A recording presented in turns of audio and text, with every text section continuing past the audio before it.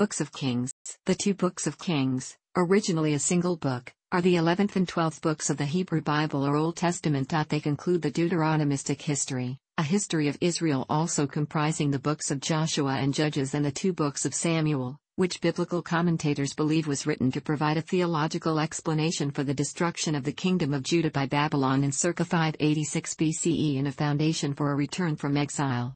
The two books of Kings present the history of ancient Israel and Judah from the death of King David to the release of Jehoiachin from imprisonment in Babylon, a period of some 400 years.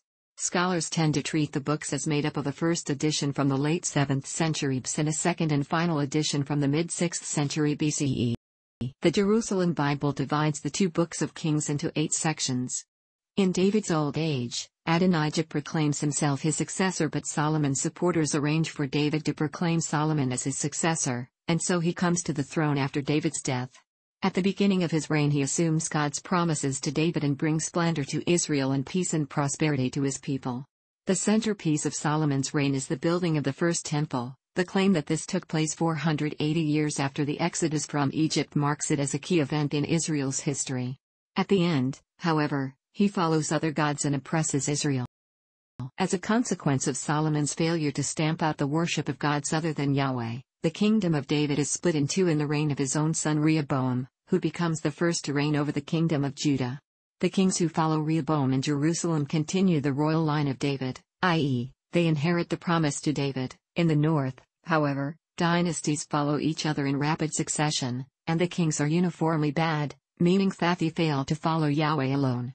At length God brings the Assyrians to destroy the northern kingdom, leaving Judah as the sole custodian of the promise. Hezekiah, the 14th king of Judah, does what is right in the Lord's sight just as his ancestor David had done and institutes a far-reaching religious reform, centralizing sacrifice at the temple at Jerusalem and destroying the images of other gods. Yahweh saves Jerusalem and the kingdom from an invasion by Assyria. But Manasseh, the next king, reverses the reforms, and God announces that he will destroy Jerusalem because of this apostasy by the king. Manasseh's righteous grandson Josiah reinstitutes the reforms of Hezekiah, but it is too late. God, speaking through the prophetess Huldah, affirms that Jerusalem is to be destroyed after the death of Josiah. In the final chapters, God brings the Neo-Babylonian empire of King Nebuchadnezzar against Jerusalem, Yahweh deserts his people, Jerusalem is razed and the temple destroyed, and the priests, prophets and royal court are led into captivity. The final verses record how Jehoiachin, the last king, is set free and given honor by the king of Babylon.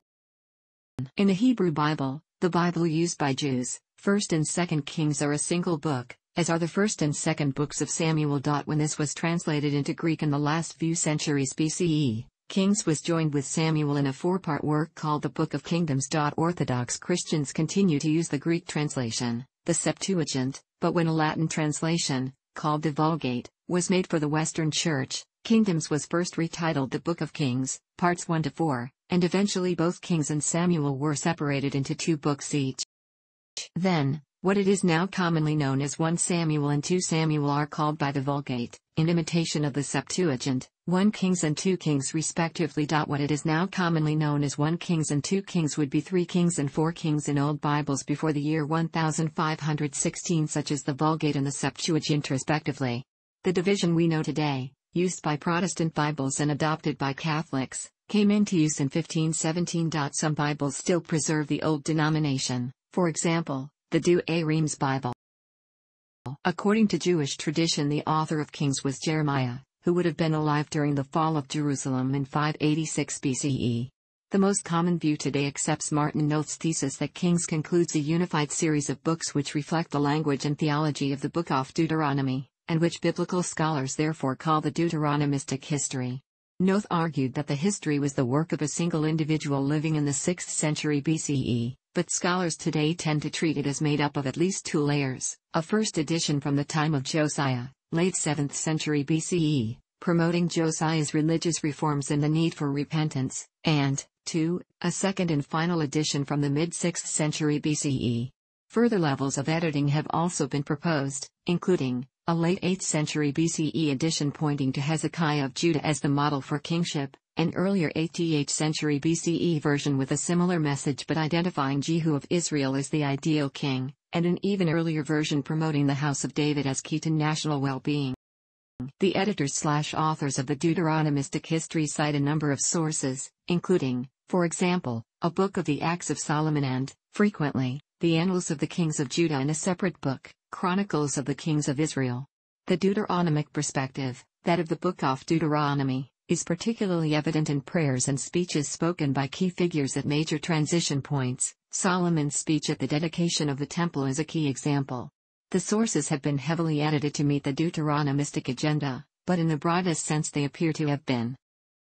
Kings is history-like rather than history in the modern sense, mixing legends, folk tales, miracle stories and fictional constructions in with the annals, and its primary explanation for all that happens is God's offended sense of what is right. It is therefore more fruitful to read it as theological literature in the form of history. The theological bias is seen in the way it judges each king of Israel on the basis of whether he recognizes the authority of the temple in Jerusalem none do, and therefore all are evil, and each king of Judah on the basis of whether he destroys the high places, rivals to the temple in Jerusalem. It gives only passing mention to important and successful kings like Omri and Jeroboam II and totally ignores one of the most significant events in ancient Israel's history, the Battle of Qarqar. The major themes of Kings are God's promise, the recurrent apostasy of the kings, and the judgment this brings on Israel. Another and related theme is that of prophecy. The main point of the prophetic stories is that God's prophecies are always fulfilled, so that any not yet fulfilled will be so in the future. The implication, the release of Jehoiachin and his restoration to a place of honor in Babylon in the closing scenes of the book, is that the promise of an eternal Davidic dynasty is still in effect, and that the Davidic line will be restored. The standard Hebrew text of Kings presents an impossible chronology. To take just a single example, Omri's accession to the throne of Israel in the 31st year of Asa of Judah, 1 Kings 16:23, cannot follow the death of his predecessor Zimri in the 27th year of Asa, 1 Kings 16:15. The Greek text corrects the impossibilities but does not seem to represent an earlier version. A large number of scholars have claimed to solve the difficulties, but the results differ, sometimes widely, and none has achieved consensus status. The Book 2 Chronicles covers much the same time period as the Books of Kings, but it ignores the northern kingdom of Israel almost completely. David is given a major role in planning the temple, Hezekiah is given a much more far reaching program of reform, and Manasseh of Judah is given an opportunity to repent of his sins, apparently to account for his long reign. It is usually assumed that the author of Chronicles used kings as a source and emphasized different areas as he would have liked it to have been interpreted. Thanks for watching. Don't forget like the video and don't forget to subscribe.